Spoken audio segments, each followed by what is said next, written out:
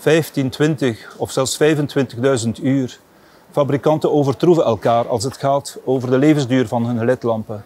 Het is bijna nog onmogelijk om te testen, want 15.000 uur komt overeen met bijna twee jaar. Toch hebben we er iets op gevonden. Ook lidlampen hebben namelijk last van warmte. Als de warmte niet weg kan, dan is dat nadelig voor de levensduur van de ledlampen. Daarom hebben we alle lampen zo opgesteld in een klimaatkamer waar een temperatuur heerst van 45 graden Celsius.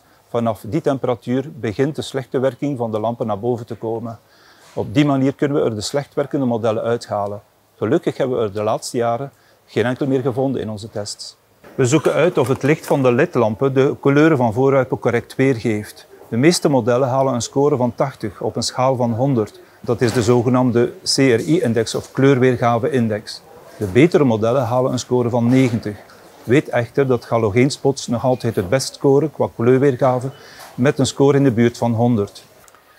We checken het kleurenspectrum dat elke lidlamp produceert. Specifiek kijken we na of er geen grote piek van blauw licht is.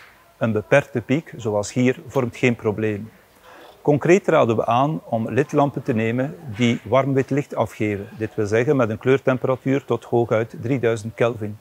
Op die manier verbijt je elk probleem van blauw licht, zo blijkt uit onze tests. Wil je weten welke modellen uit onze tests de meest efficiënte zijn, dan kan je dit ontdekken in onze online koopwijzer.